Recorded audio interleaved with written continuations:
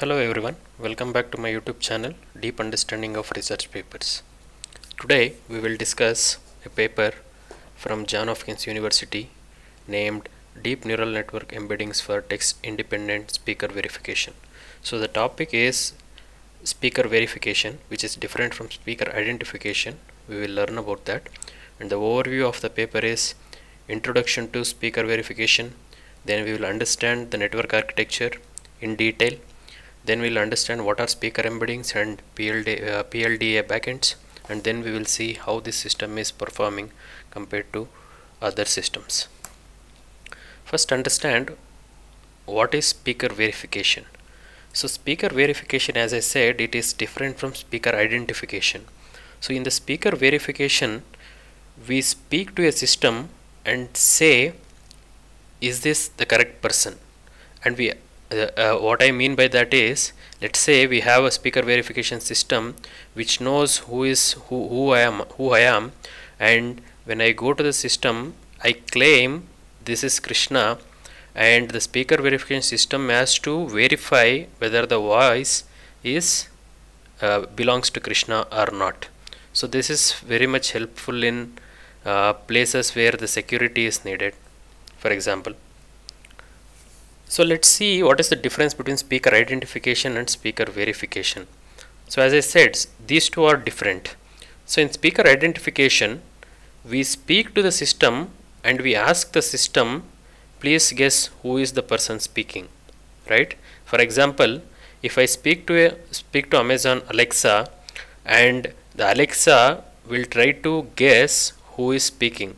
So if I speak, it may detect my voice and it may say with 95% probability this voice belongs to Krishna. But in speaker verification system I go to the system and I claim this is Krishna and the speaker verification system has to just has to uh, take a decision whether this is this voice belongs to Krishna or not right? So verification is just verifying the voice from the claimed speaker and identification is identifying the voice uh, voice which belongs to one of the speaker in the list. Now uh, in the overview of the system we will see uh, uh we will see what are the different approaches uh, taken uh, till today for speaker verification. So if you see in speech in speaker verification field particularly currently the best system currently not currently uh, these days the best system is considered to be as i vector based speaker identification system. Uh, uh, sorry it was supposed to be speaker verification. So what is i vector based speaker verification? So if you see if you if you, if you work in speech related uh, areas so you will hear this name i vector a lot. So this is one of the breakthrough in uh, speech field where it captures uh, uh, uh, variabilities variabilities which are present in speech. For example if you go to language you can use i vectors to detect or uh, predict what are the language what is the language spoken. Or if you come to speaker identification you can use the same uh, speak uh, same iVector concept to identify who is the speaker. So i vector is some kind of vector which has this very high discriminative discriminative property so uh, how do you how do you uh, uh what is iVector system? So we'll just go a little bit deeper into uh, understanding vector system because later it might uh, you may you may see iVector you may want to understand vector in other places. So in other iVector is built on top of GMM UBM model. So uh, I mean you can use DNN UBM also but uh, right now let's say we have a GMM UBM model and uh, UBM is built uh, using unsupervised data. So uh, unsupervised data in the sense you take lots and lots of speech data available and you build uh, a, a, UBM a universal background model. Then you use that UBM to uh, uh, to build a new GMMs for every speaker. So using something called GMM super vector so there is a paper very very well known paper known as joint factor analysis for uh, uh spe speaker identification. You can go and read about it. Uh, it's a bit complicated little bit uh, complicated in in terms of maths and stuff. But the concept is you build a UBM and you adopt the, your UBM to a particular speaker which is called GMM adaptation. Then you use the GMM super vectors to build or to generate your i vectors using joint factor analysis. So, uh, so that is the concept of i vector. Then what are the other systems which are present in speaker verification? So in speaker verification uh, again uh, this is supposed to be DNN embedding based speaker verification not speaker identification. So in speaker verification as i said you claim you are the speaker uh, you, you, claim who is uh, you, claim that i am the speaker and the system has to just accept or reject whether you are right person or not so this is the this is actually the paper from google uh, which is like one of the uh, which is like currently the state of the art uh, speaker verification system for OK Google kind of thing. Uh, like for example, if you have a Google, if you are using Google Voice, where you say uh, OK Google, the OK Google automatically first uh, understands the word uh, OK Google, which is called wake recognition, as well as it identifies whether uh, this voice belongs to the particular person who is holding the phone or not. So both the, both the things are there. So there what they did was uh, in, uh, they used something called uh, long short of memory or recurrent neural network uh, to process uh, process OK Google kind of utterances and they generated something called speaker representation. Those speaker representations are highly discriminative feature vectors.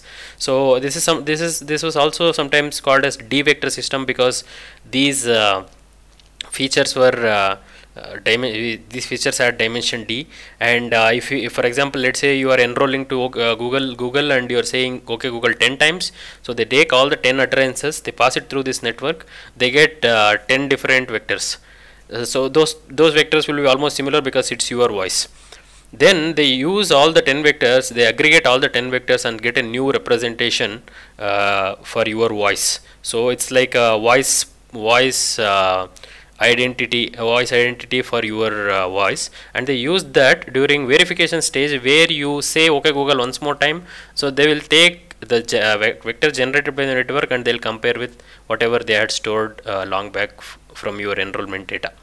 So they use cosine similarity to compute the uh, difference between the vectors and if it is uh, greater than some threshold they accept you as you, they will accept you if you claim or they will reject you so this this system is also uh, based on embeddings. So what you saw before, uh, DNN embedding speaker identification and before was I, I, vector based speaker embeddings, uh, I vector uh, speaker uh, verification. So this is this also belongs to this category of uh, embedding based speaker verification. But this is a little bit different than the paper uh, I showed before which is uh, LSTM paper. Here they use something called time delay neural network instead of long short term memory. So uh, there is reason why they did that and uh, we will see what are the different advantages they uh, they have using time delay neural network over uh, long short term memories. So uh, the whole, the whole network architecture is like this. It has different components. It has time delay neural network uh, which operates at the frame level. Then uh, they have something called statistic pooling layer uh, which takes all the feature vectors or representations generated at every time step and aggregates them uh, to generate one single uh, vector. And they use that vectors as embeddings and uh, they use the next layer level is segment level affine transformation. Then at the end they do speaker classification. So as I said uh, this is this this is speaker verification system but you will see later why we are using doing speaker identification which is like classifying the speaker. Uh, you will understand why we are doing this. The whole point of this paper is to do speaker verification only but to reach there they do something called speaker identification and uh, they generate the embeddings and they use those embedding for verification stage. So we'll go into detail of what they did in the paper. So just keep in mind that uh, they have this uh, time delay neural network and they have this statistic pooling layer and they have uh, the segment uh, the again the layers which operates at the segment level which is the which is sometimes called sentence level.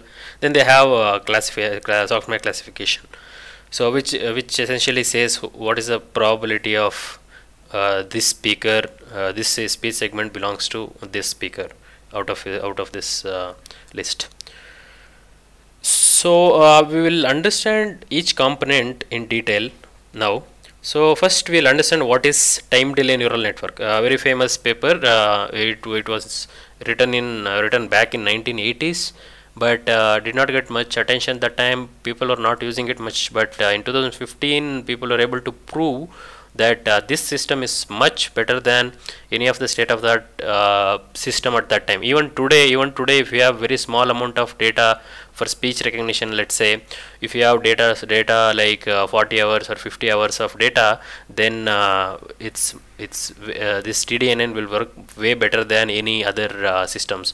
For example if you use deep speech kind of system on this small amount of data it will fail uh, miserably compared to TDNN or normal DNN uh, based uh, methods. So TDNN is very well uh, very well known for this uh, this kind of I mean a kind of st st state of the art for low resource data or yeah, but if you have large amount of data it's better to go for deep speech.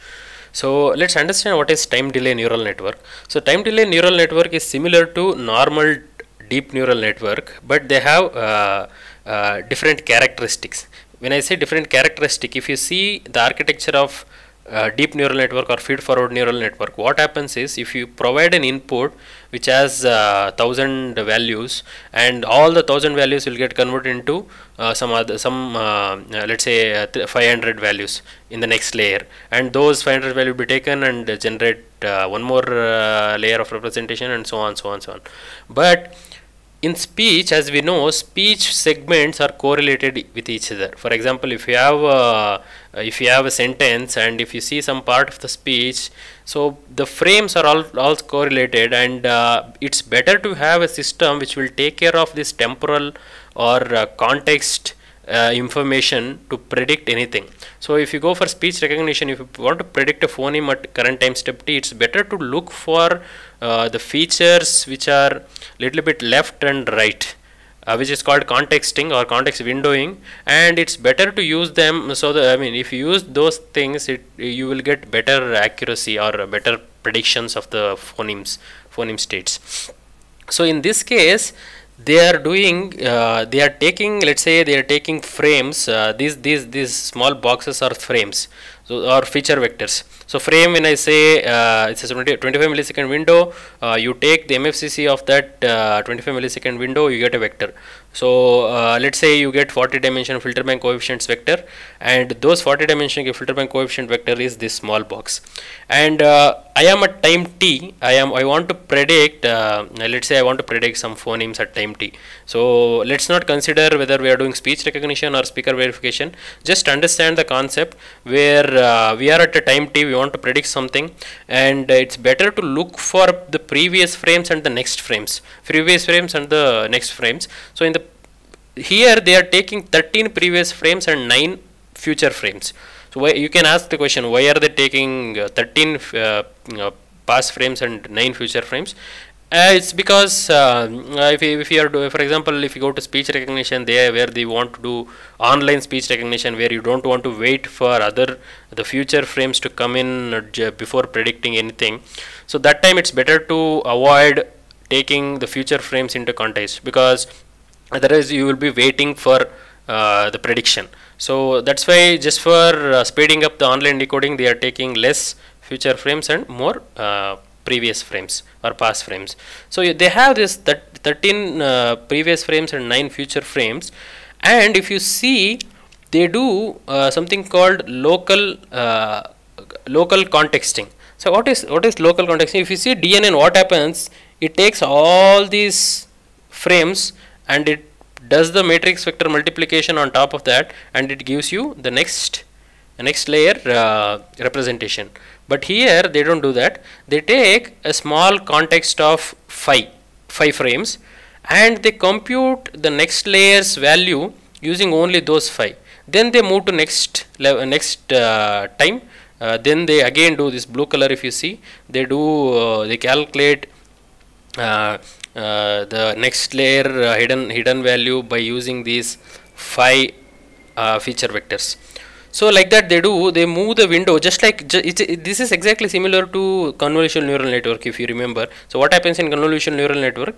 Uh, there will be a filter that filter moves with particular number of strides. If you have a 5 cross 5 filter that filter takes uh, that filter operates on this 5 patch here and then moves to the next patch then moves to the next patch and so on so on so on. So here also these weights these weights whatever you're seeing the 5 weights are all tied tied together. That means these are same throughout this entire sequence. So so that way it has it gets this property of shift invariance shift invariance in the sense whether your phoneme or some some feature representation present here or here doesn't matter. It still gets it with the same hidden uh, same weights. So that's that the property is called shift invariance and this time delay neural network has this property of shift invariance so as I said, so the first layer, the lower layer, uh, uh, uh, the local, local or local, uh, uh, uh, the operation op happens on the, on local patches. Then those will be projected onto the next layer, and in the next layer also, uh, uh, next layer also, we are going to do the operation locally, right? And same thing happens in the third layer, and same thing happens in the fourth layer, and so on, so on, so on.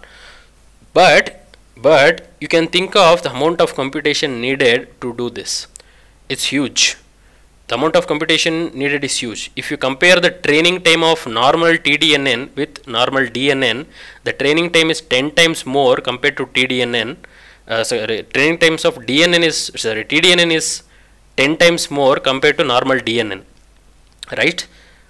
How do you avoid that you don't want the time to be so long the training time to be so long. So this paper 2015 paper what I was saying uh, you can look for the paper time delay neural network for uh, speaker uh, sorry uh, uh, automatic speech recognition uh, by Sanjeev Khudanpur and Daniel Povey and a few more people. So uh, Vijayananda Peddinti something. So so that paper they explain something called subsampling layers. They do frame subsampling at every layer. So what is some subsampling? If you look at if you look at this layer let's say you look at this layer if you want to go to the next layer they are taking frame t minus 11 and t8 and they are computing the next um, uh, next layer's uh, hidden weight hidden value uh, t minus 10 and here also they take this uh, t minus 5 and t minus 2 and they predict t minus 4 uh, hidden uh, of layer 3 and they are neglecting all the other right? And here they are taking again t minus 10 and t minus 4 to predict t minus 7 at layer 4 and uh, they take t minus, uh, 1 and t minus t plus 5 of layer 3 to predict uh, t plus 2 of layer 4 right?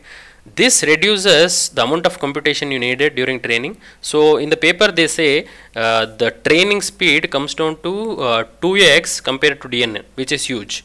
Right? And the number of parameters you want to store is also very very less because you are pruning lot of the lot of the necessary connections right? So so this is uh, uh, time delay neural network right? Uh, so uh, so in the uh, and one more important thing is if you see it, the bottom layers bottom layers the the context is very small. Uh, it's like 5 and so on. But as you go to higher higher level the number of uh, the context window actually increases. If you see this one um, the context window is huge compared to uh, this one and this layers context window is huge compared to this layer and this is huge again this way. So like that so as you go on the hierarchy upward layers the the context they will increase they, they, they increase the context but at the lower level uh, these filters operates on very small small uh, uh, patches to get the local context of the speech fragment so again, what I uh, again I said uh, TDNN was invented in back in 1980s by Geoffrey Hinton and Alex Waibel and uh, top these are these are the like very well known people right now. And uh, as I said, TDNN captures long-term temporal correlation between speech frames, and uh, it has this property of shift invariance in like CNN. And subsampling increases the time, and they are actually faster compared to LSTM also. LSTM is very very slow compared to and um, they capture this learn this local correlation between speech frames.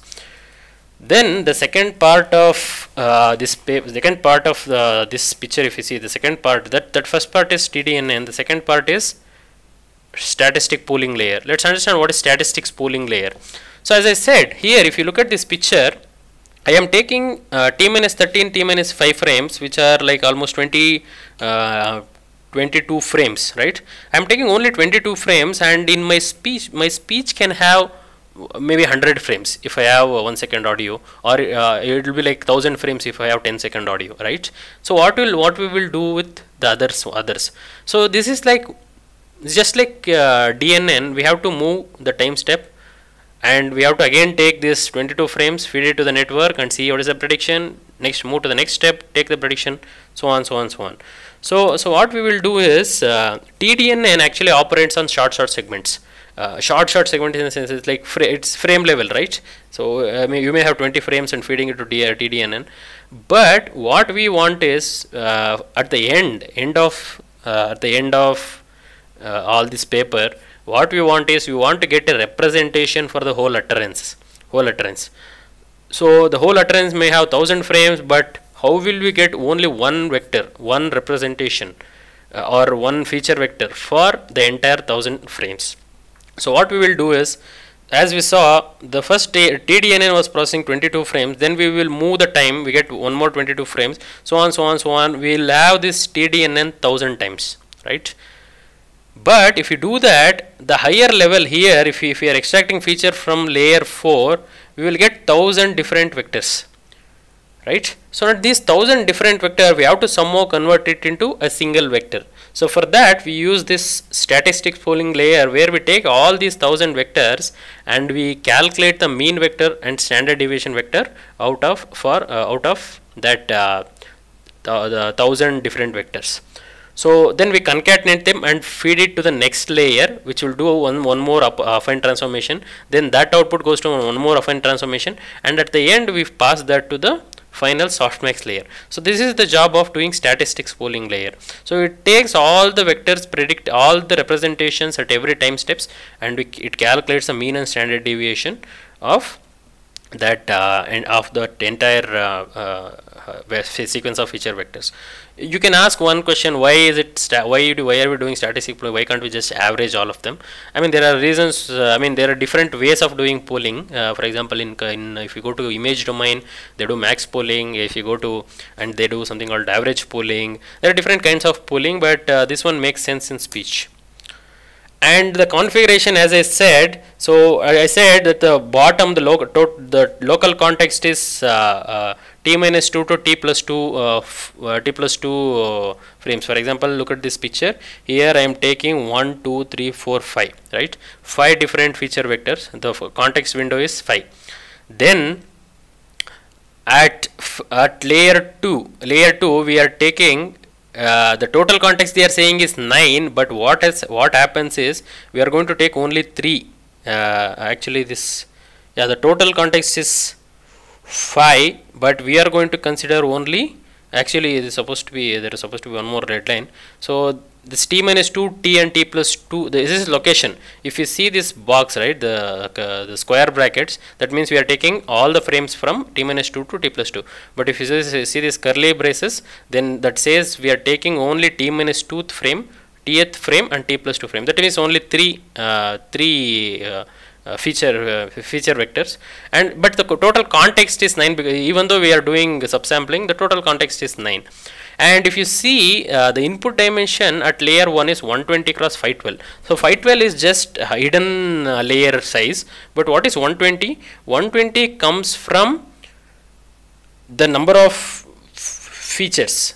So for example uh, if you if you think of uh, if you see uh, so 120 is if I remember properly it's 30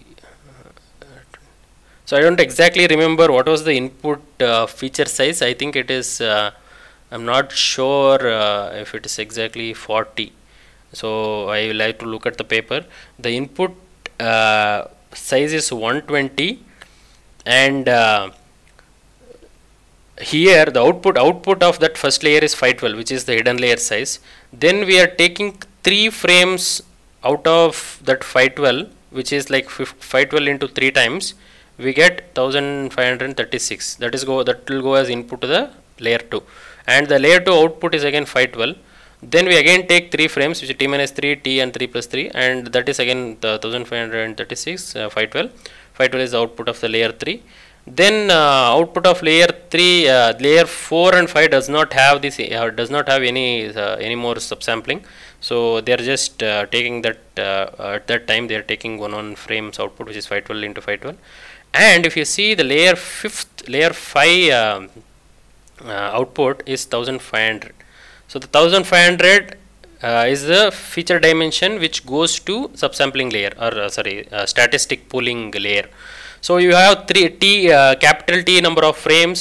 So you will you will take all the frames and compute the uh, which uh, for example if you have capital T frames which is like 1000 you get 1000 1500 dimension vectors and those will get those then you will calculate uh, mean and standard deviation of those vectors. You will get to two vectors which are of dimension 1500 again. You concatenate them and feed it to the next layer which takes 3000 uh, in 1500 plus 1500 which is 3000 and the layer 6 uh, layer 6 uh, segment output is uh, sorry layer 6 hidden representation output is 512 uh, 512 dimension. Then again you do one more affine transformation.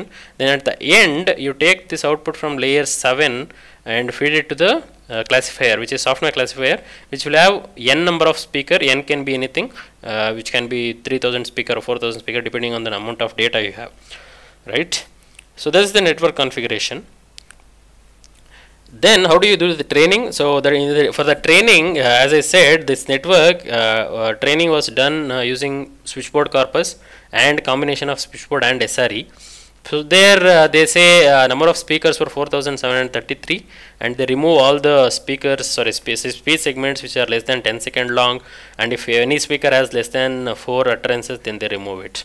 And to train the system they use this is just like classification they use multi-class class cross entropy as the objective function then they uh, minimize it using SGD optimizer. Uh, so if you see the equation, so what is happening is you the output of the network will give you the probability of the speaker k.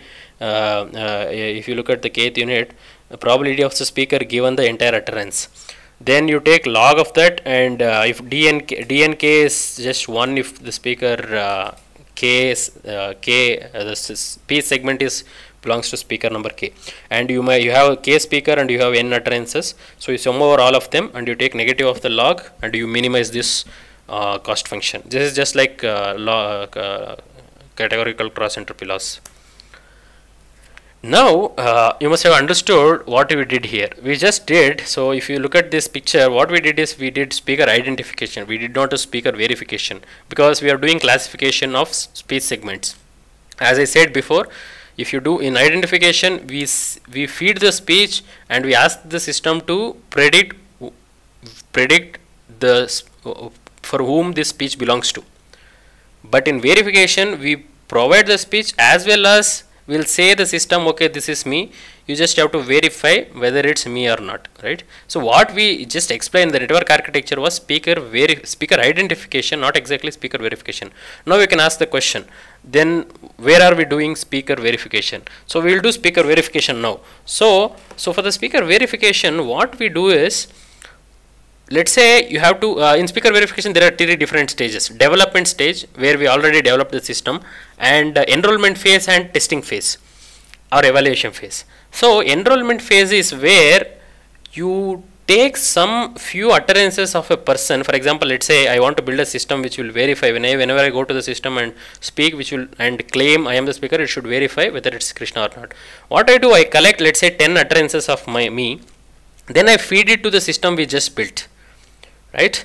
Then we extract the high level features which you saw here. So the features which we extract is the embedding A and B, right? So you can take A or B. So B will have more uh, uh, like uh, uh, it will have more transformed version of A because there is one more affine transformation. Uh, so there is a little bit non-linearity to that vector, but you can take one of those two embedding. If I if I have 10 utterances of me, I feed all the 10, I get 10 different vectors of uh, vectors for my voice. And I aggregate all of them and I get a one vector which is like voice print of my voice right? Then during that is that is called enrollment phase. So you uh, you call any person whom you want to build this speaker verification you take little bit speech of them and then you extract these embeddings for that enrollment data right? Then we use something called PDL, PLDA backend, a probabilistic linear discriminant analysis backend, where during testing phase during testing phase we verify whether this person is actually the person who is claiming. How do you do that? Let's say i i enroll to the system i have a vector for me.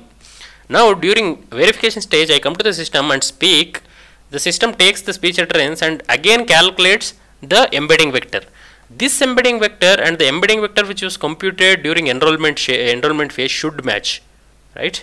And if they match then the system with some threshold the system should verify this is Krishna. So why are they doing PLDA backend? I mean we just have to calculate we just have to build a system which will system which will uh, discriminate these discriminate these feature vectors right how, how, how can you discriminate this feature vector? I mean, why didn't we use the actual MFCC feature vector, but we are using this feature? Because though this feature which we have extracted has this property of speaker discrimination because the system was trained to identify speaker these features high features will have very high speaker discrimination uh, property so this speaker discrimination property is what helps us in getting the speaker enrollment or getting the speaker verification system to work with very less amount of data. So this PDLA back PLDA backend helps us in doing this uh, verification. So finally we will come to the performance of the system. They, they in the paper, if you see the paper, they have done they have done lots and lots of experiment. Uh, they have done it on SRE 10 data, SRE 10 uh, data and stuff. But uh, just for the comparison of I vector system, I am going to show only uh, one small figure. If you want to if you want to see the different experiments they have done, just please go and read the paper. So in this paper, they in the paper they calculate something called equal error rates and uh, lower the better uh, iVector gets uh, uh, 7 for example Cantonese data they get 8.3 and if you use embedding at layer A you get 7.7 embedding at layer B and if you fuse them you get 6.5 so so uh, as you can see uh, speaker verification system built by this kind of uh, TDNN or DNN based speaker embedding based speaker verification system are better compared to iVector systems and uh, you can see the DET curve also uh, which shows again uh, better results compared to i vectors. So there is one more paper called D-vector system uh, which was released by Google and uh, they say it's uh, they have much better results than the, these two but we can't in the experiments were done on OK Google kind of data which is not accessible publicly for anyone else to conduct their experiment show their system that it works these algorithms work better than them I mean it's not possible because you don't have that kind of data and uh, and uh, and uh, I mean who knows that D vector system might be better than uh, this X vector this is called X vector system uh, there's one more paper after this which which was again written by David Snyder only, David Snyder and Daniel Povey and his team. So uh, uh overall, uh, you can uh, overall what you can say is this deep learning and deep learning methods, like embedding based methods, they actually work very well if you have very good amount of data. So and if you see, there are other works also like Siamese network based speaker verification system where they build a Siamese network which will uh, generate uh, similar uh, which was built using similarity kind of metric it's sometimes called metric learning. So those are also there later we will cover that also. And uh, thank you so much for watching the video. If you are not subscribed to the uh, channel please subscribe. Uh, if you like the video thank you